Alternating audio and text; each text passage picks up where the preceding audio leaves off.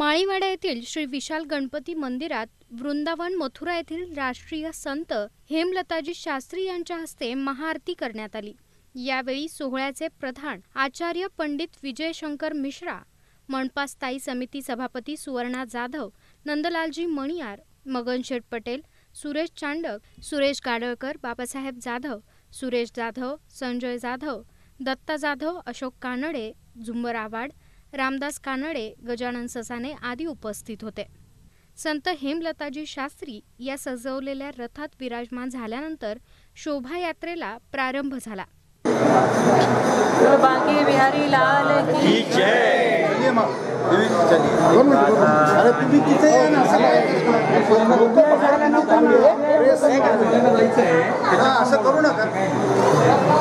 श्री ठाकुर जी की अपार कृपा है।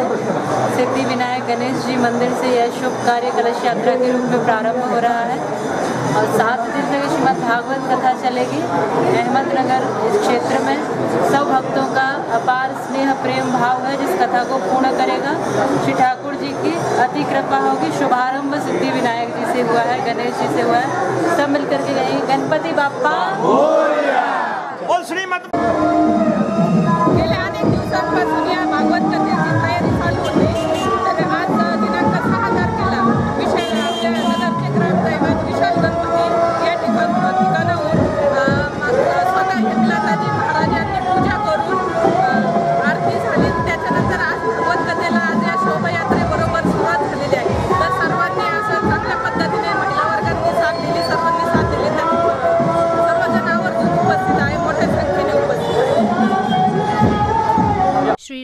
लक्ष्मण सीता श्रीकृष्ण यांच्या वेशभूषेतील लहान मुले भजनी मंडळ एकशे एक्कावन्न कलशधारी महिला भगवे उपरणे घातलेले भाविक भागवत ग्रंथाची पालखी या शोभायात्रेच्या अग्रभागी होती. भाविकांनी विविध भजने गात रामकृष्णाचा जयघोष करत फुगड्या खेळण्याचा आनंद लुटत शोभायात्रेत सहभाग घेतला.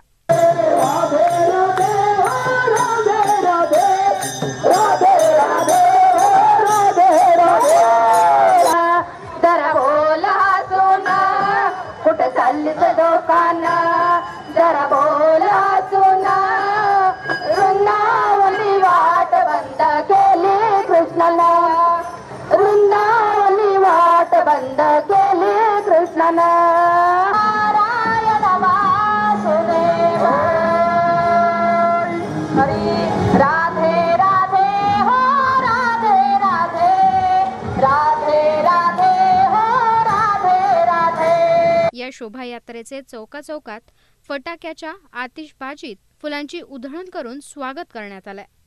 शोभायात्रेनंतर दुपारी ठीक तीन वाजता हेमलताजी शास्त्री यांच्या भागवत कथा निरूपणास प्रारंभ झाला. बारा ऑगस्ट पर्यंत हा सोहळा चालणार असून दररोज दुपारी तीन ते सायंकाळी सात या वेळेत कथा निरूपण होणार आहे. असली अंदर भरना है प्रेम करुणा वात्सल्य मिठास. भावुकता, अंदर भरना है समर्पण, अंदर भक्ति को भरना है, सेवा को भरना है, ज्ञान और वैराग्य को अंदर से जब छलकाओगे तो भक्ति निकलेगी, प्रेम निकलेगा, आनंद निकलेगा और जो आस पास होगा वो भी आनंदित हो जाएगा, सुखी हो जाएगा।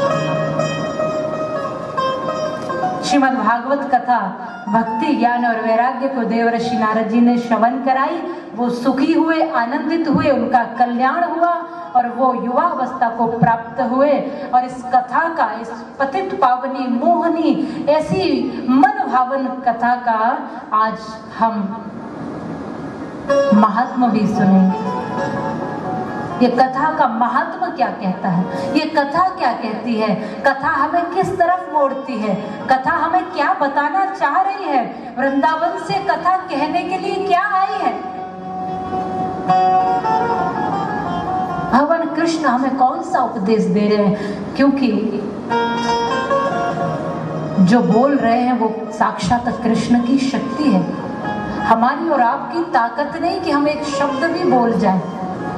ज़ुबान तो मृतक व्यक्ति के पास भी होती है, पर शब्द नहीं होते। आवाज़ नहीं होती, ध्वनि नहीं होती, क्योंकि उसके अंदर से वो शक्ति समाप्त हो जाती है।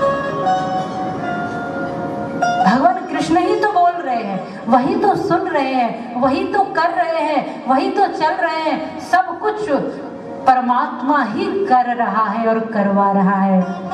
मेरा आपकी कृपा से सब काम हो रहा है। करते हो तुम कन्हैया, मेरा नाम हो रहा है। करने वाला परमात्मा है। क्योंकि जो मिला है वो हमेशा पास रह सकता नहीं। और कब बिछुड़ जाए ये कोई राज कह सकता नहीं। जिंदगानी का दिया मधुबन किसी का है दिया, मैं नहीं, मेरा नहीं, ये तन किसी का है दिया। देने वाले ने दिया, वो भी दिया किस शान से? और लेने वाला मेरा है, ये कह उठा अभिमान से। मेरा मेरा कहने वाला, ये मन किसी का है दिया? मैं नहीं, मेरा नहीं, ये धन किसी का है दिया? जीवन किसी का है दिया? ये तन किसी का है दिया? ये सब कुछ उधार में मिला है आप। प्रतिनिधी Vaibhav Ghodke, bureau report, Jeevan news, महानगराची lifeline Ahmednagar.